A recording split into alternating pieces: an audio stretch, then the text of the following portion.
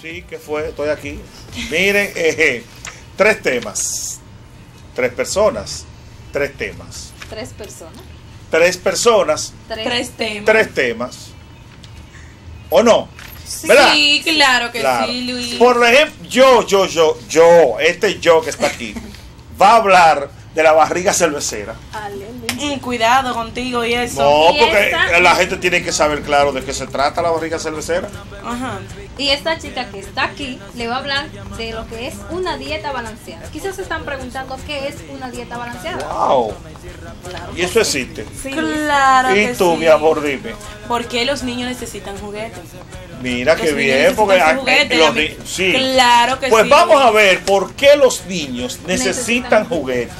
Porque desde, desde que uno está pequeñito, que tiene conocimiento, lo primero que te regalan es una maraquita, y tú la agarras Sí. y tú ya. Dime, Crispan, ¿por qué los niños necesitan juguetes? Los juegos desempeñan un papel clave en el desarrollo humano. Los neurociencias nos dicen que las eh, actividades lúdicas fortalecen dos áreas de la mesa gris. El cerebro que coordina los movimientos y los óvulos frontal asociando a la toma de decisiones y el control de los impulsos.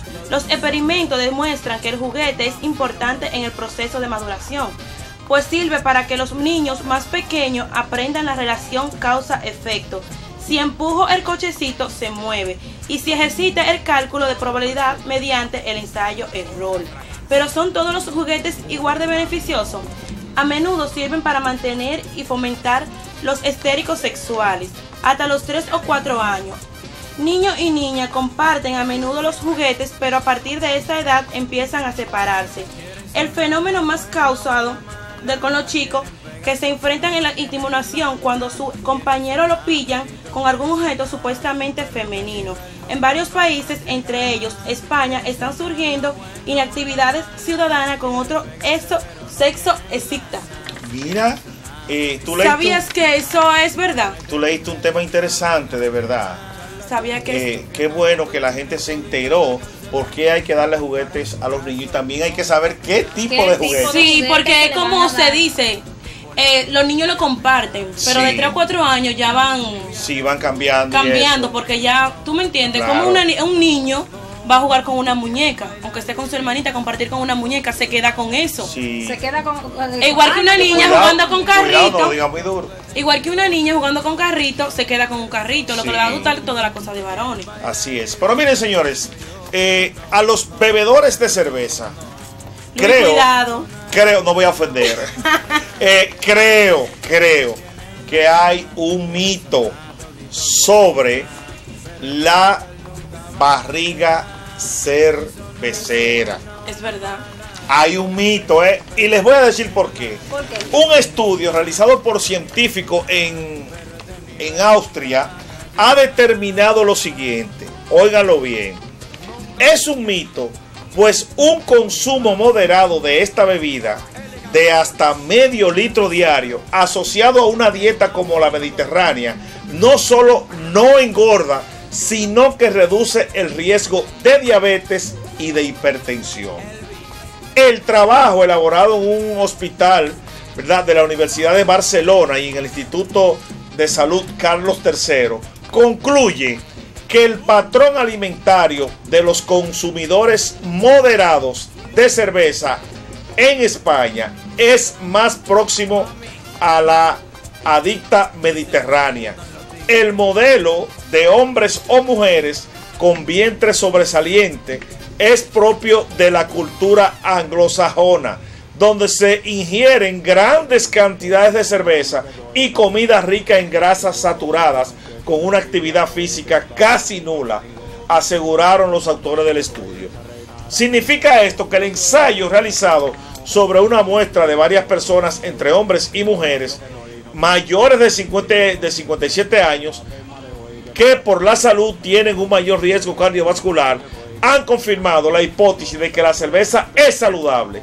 Según sus autores, las personas que han participado en el estudio alimenticio con una dieta mediterránea acompañada por cerveza en cantidades de entre un cuarto y un medio litro por día, no solo no han engordado, sino que en algunos casos han bajado de peso.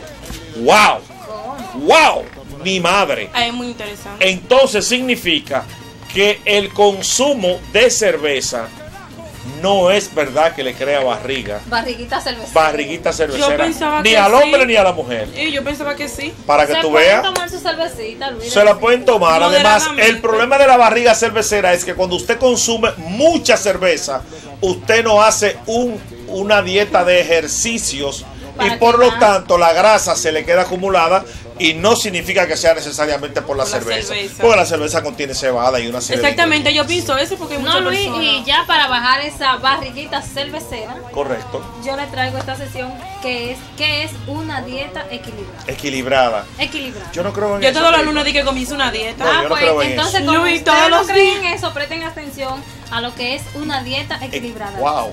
Se considera que una dieta equilibrada contiene cantidades suficientes de calorías y nutrientes esenciales para el crecimiento y desarrollo óptimo del organismo en cada etapa de la vida, así como para prevenir deficiencias o excesos nutricionales. Una alimentación saludable aporta carbohidratos, proteínas y grasas, además de vitaminas y minerales, en proporciones adecuadas para reducir el riesgo de enfermedades crónicas. Según los nutricionistas, en una dieta equilibrada para evitar la obesidad y otros problemas de salud relacionados diabetes, hipertensión y porcenta- el porcentaje de calorías debe distribuirse del siguiente modo. Hidratos de carbono, 50 o 55%. de Déjalo ahí. ¿De cuánto? 50 o 55%. Eso es para hidrato de carbono. Hidrato de y para las grasas, Grasas 30 o 35%. está oyendo Crisma. Y, Y entonces, proteína. las proteínas. 10 o 15%. Entonces, yo no sé. Dime, ¿cuáles son los alimentos que tienen grasa, que tienen proteína, que tienen. Todas esas cosas que tú mencionaste? Porque la gente aquí no sabe. Que no saben. Claro que yo Dime, sabe. ¿cuáles son? Usted puede encontrar grasa, la mayoría de ellos deben proceder de cereales integrales, frutas, eh, legumbres y verduras. Esos son los, carbo, los hidratos de carbono. Para la grasa, especialmente recomendable el consumo de aceite de oliva por su contenido en ácidos grasos. Bueno, ácido o elótico. está También bien. se debe ingerir ácidos grasos omega 6 y omega 3. Yo tengo el omega 3. Ah, pues yo tengo eh, el aceite de oliva. Está yo tengo el eh, todo, yo lo tengo, todo, El aceite de todo. oliva es muy bueno. Ah, pues está Eso funciona para todo. Está consumiendo el 30 o 35% de grasa que necesita tu cuerpo necesita para tener una dieta equilibrada. Exactamente. Eh, le voy a decir algo. más quieres saber? Que me lo enseñó un una Nutricionista. nutricionista. Cuando usted salcoche el huevo, huevo salcochado, no sancochado como dicen muchos, el huevo salcochado, ¿verdad? Si usted se lo va, lo va a ingerir, debe retirarle la yema, porque la yema tiene un alto eh, contenido de grasa. Un alto Cómase nada más la clara La clara, eso dice. y está lleno de proteínas. La clara de huevo tiene muchísimas proteínas. Eso dicen. Bueno, así es que señores, tres personas, Tres sesiones. Tres secciones. tres temas, ¿verdad? Tres secciones. Sí, así mismo, tres Divididos personas, cada- tres secciones. Claro. Eh, les voy a dar un... Ustedes saben lo que es el bullying. El bullying. Sí. Regresamos en breve. Gente ready, indetenible.